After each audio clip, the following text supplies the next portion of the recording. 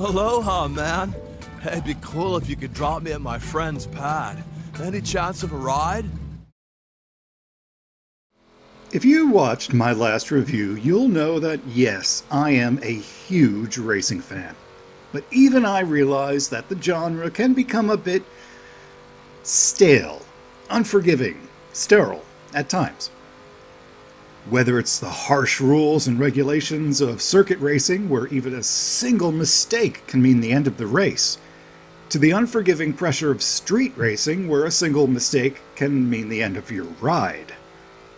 And it was into this environment that some crazy French developers went to Atari and said, Hey, let's go to Hawaii!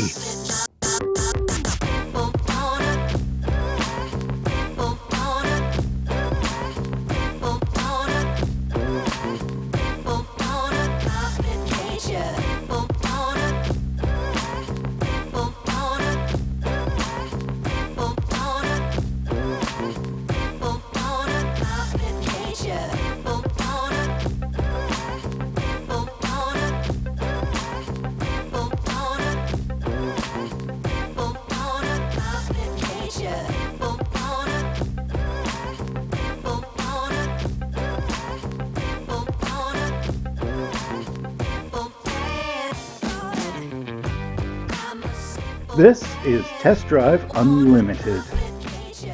And it was such a simple idea, too.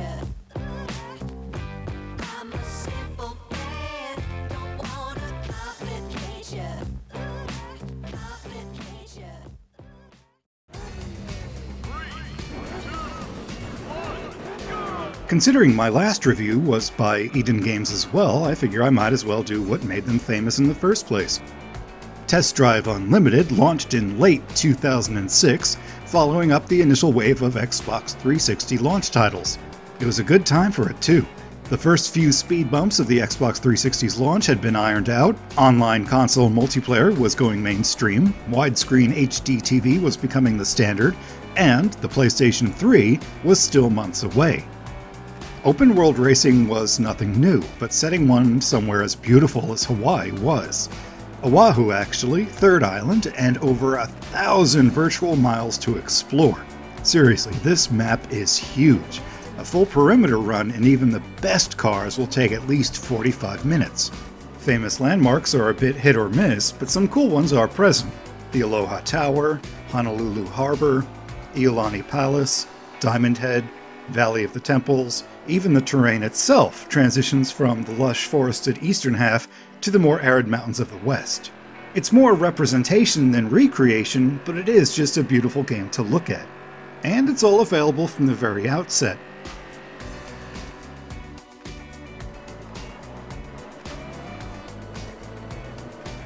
After a brief but clever selection of your avatar from an airport terminal, it's off to the island for your racing adventure.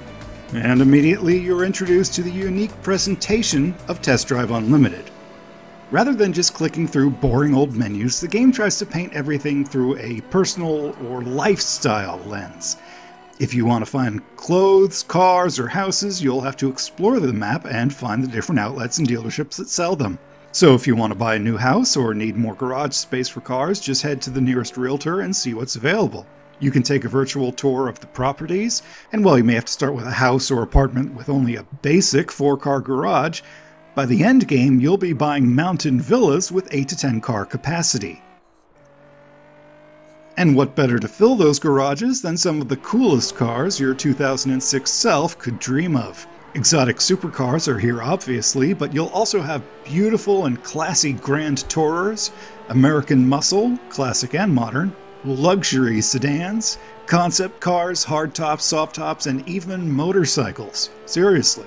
Over 125 rides are available out of the box with a few DLC packs thrown in for good measure. And lucky me, I still have them. Just like with real estate, car buying is more personal and unique in Test Drive Unlimited.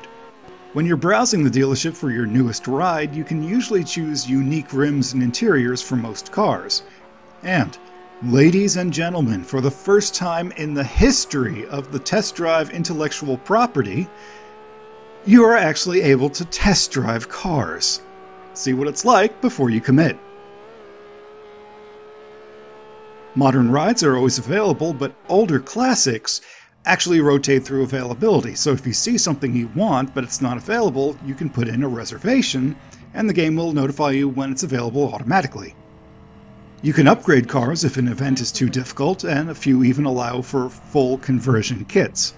If you find an event that requires a car that you either can't afford or don't want to have as part of your collection, you can even rent cars and use them for those events. Finally, concept cars are rewarded for completing each of the different race types in the game. And speaking of which,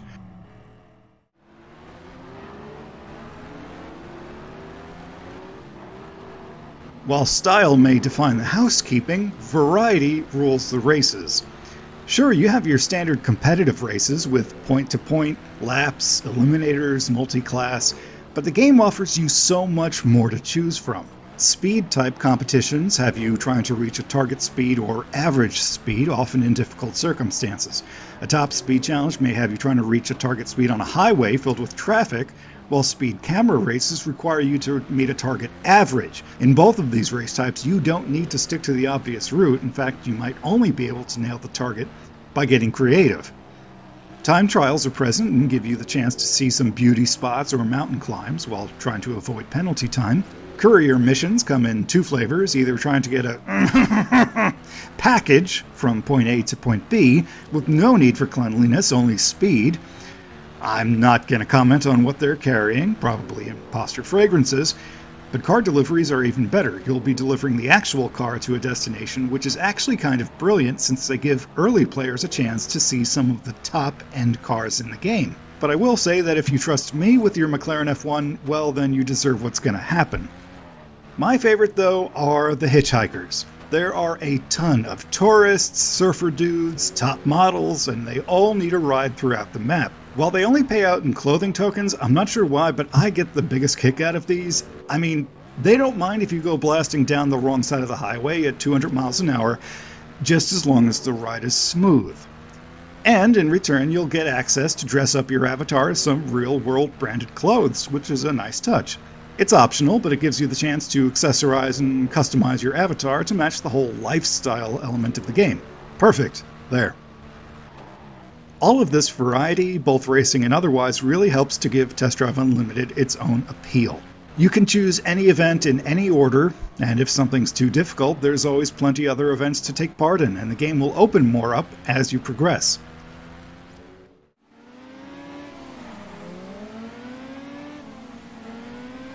Turning to graphics, I have to say this was a nice, lush looking game, but it has aged a bit. The frame rate is a bit shaky, and in fact, you'll never really see a smooth frame rate, but you can jump from one part of the island to another at any time very quickly. One thing to note though is that the car models can be a bit uneven. Audio gets the job done. Top exotics and muscle cars sound nice, but everything else is pretty much background noise. Like any good open world automotive games, you have several channels of music to listen to, although these mostly consist of second string or off label compilations. Obviously, I'm not playing anything because of potential copyright issues, but even so, you'd probably want to load up your own playlist. This is a long game, so even if the tracks were good, you'd be hearing plenty of repeats.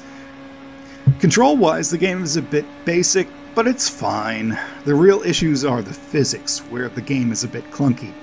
It's not that the game is difficult or difficult to drive, it's just, I think what it is is that there's no real suspension modeling in the game, so anytime you crash into traffic or battle with police, or even just hit some rough ground, the car sort of crashes against everything.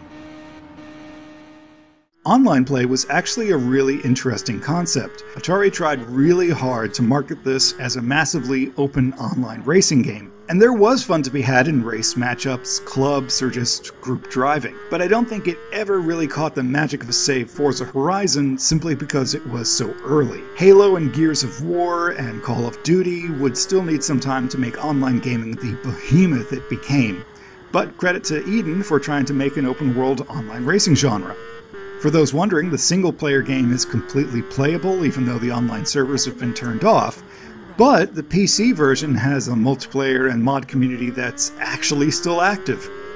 All the tech talk in the world, though, isn't really what Test Drive Unlimited is about. It's about freedom and beauty and bringing that back to racing. Take a tropical location, hot cars, and let the players run loose without the usual rigid campaign structures or punishments. It still has plenty of challenges and plenty of things to unlock, but it's something you can enjoy playing. This was a great way to kick off the seventh generation in earnest, who was definitely one of my early favorites, and it may have helped pave the way for future open world racing games like the Forza Horizon series. As before, as always, thank you so much for watching. Please, would you be my next subscriber? Feel free to leave comments. And as always, be sure to keep going. You are worth it.